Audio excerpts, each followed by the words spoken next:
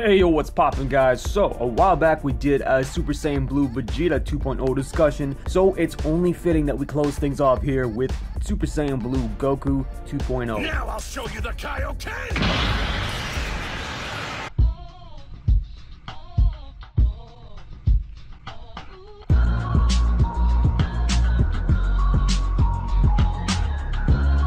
Alright, so just a spoiler alert, if you haven't seen Dragon Ball Super past the Goku Black arc, you've been warned. So Super Saiyan Blue Goku is one of those figures that represents a pretty iconic and modern look for Goku, and despite this, he is in some serious need of some remodeling. Now, if you missed out on him, I wouldn't panic if I were you, but if you feel that you need to fill that Super Saiyan Blue gap in your soul, you can always pick up the Figure Rise version of him, a cheaper yet decent alternative at this point. Peep the link in the description below. Alright, so with that said, let's get the obvious out of the way. At this point, if Tamashii was to release a new 2.0 Super Saiyan Blue Goku, they would probably use the upcoming 2.0 base Goku's mold. And I think it'd be really surprising if they didn't. And to be honest, I can't see much reason for them not to. Plus, they can spend more of the budget on the hair and accessories. Alright, so let's kick things off starting at the top. So with regard to discussing a new hair sculpt we could potentially see, I'm going to be using how he was drawn in Dragon Ball Super episodes where Yuya Takahashi was involved. As come on, you have to admit this was arguably the best looks for Goku and Vegeta in Super, let alone the Tournament of Power. So this hair is a darker shade of blue than how Super Saiyan Blue is depicted in majority of the anime, but in my opinion, it looks sick.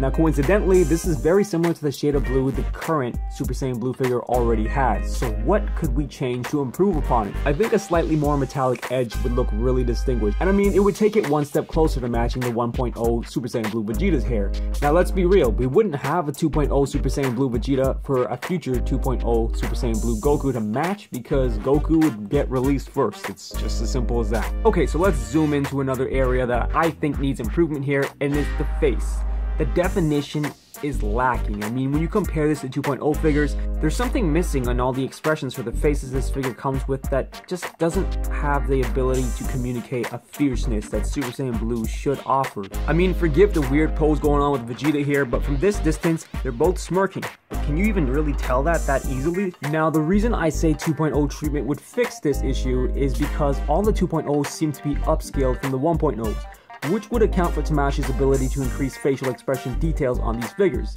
I mean, this upscaling slightly would kind of explain why the scaling in Figuarts is out of whack, and 2.0 Scouter Vegeta is too tall. If you want a better idea of what I'm talking about here, take a look at the 1.0 and the 2.0 leg differences. Do you see how, especially down here in the calf portion, it's just wider and bigger in general? This is why I believe that there has been a little bit of an upscaling going on in general since the 2.0s came into fruition. Alright, so I skipped articulation on this one because I think we all know pretty much what we're getting based on the Super Saiyan 3 2.0 body mold.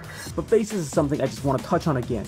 Now in terms of expressions, I definitely want them to keep the stern and yelling faces, but I want this smirk to be a little bit more defined like I was saying. You should be able to tell the difference between a smirk and a stern look without having to stoop down and get up close and personal with the figure. It's just common sense for a 6 inch figure. Next, I think including a teeth gritting face like how Awakening Goku did would be a decent move with this figure, as if you're going to do a 2.0 Super Saiyan Blue Goku figure, you might as well do it right so the fan base doesn't get all pissed off at you for releasing a lackluster one only to release a slightly different one a few months later. I'm looking at you, PC Vegeta. And real quick, in terms of accessories, a Super Saiyan Blue Kaioken Aura would be dope. You want more sales? Throw this in, Tamashii. You'll do well with it.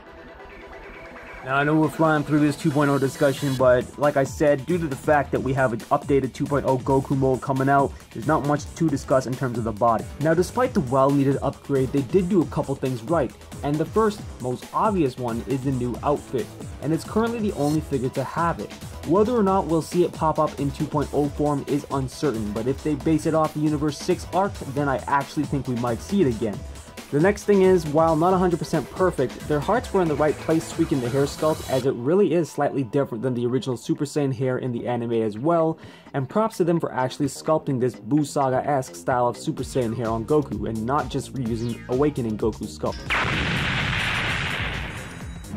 So for why'd you do it, I want to know. With the 2.0 tech on the horizon after this figure's release, was it that important to rush this figure out? And on top of that, as a web exclusive for sales, Surely, if you'd waited a few months and released Goku and Vegeta Blue on 2.0 tech, you'd see a significant spike in sales to this date, and you wouldn't see Super Saiyan Blue Vegeta at retail in stock at various retailers.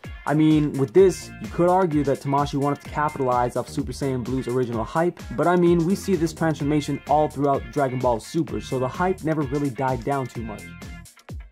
Alright peeps, so I've said my piece about what I expect for 2.0 Super Saiyan Blue Goku. I really hope Tamashii consults some of the more pronounced artwork from Super for this, and if they do it, it would be much appreciated I think. Do you have the original Super Saiyan Blue Goku? Will you be picking up the Figure Rise version for the time being? Let me know down below, and as always, you know what I say.